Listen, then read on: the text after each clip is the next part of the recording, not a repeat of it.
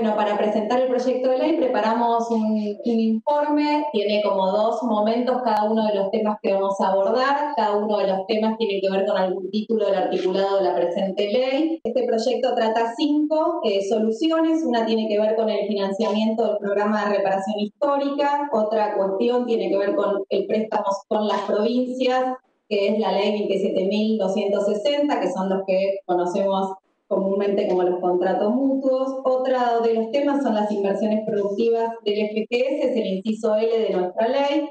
Otro de los temas es la regularización de los créditos de ANSES, lo que antes conocíamos como el programa Argenta. Y el último tema son los derechos políticos de las acciones de las sociedades en cartera del FG.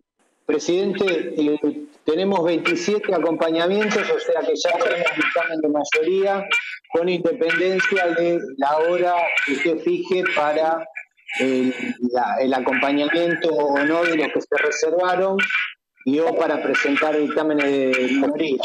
Eh, de esta manera damos por terminada esta eh, reunión conjunta de ambas comisiones. Mi propuesta para la comisión de presupuestos es que pasemos a un cuarto intermedio hasta mañana a las 15 horas, en las que continuaremos trabajando con los dos temas que están pendientes en el orden del día.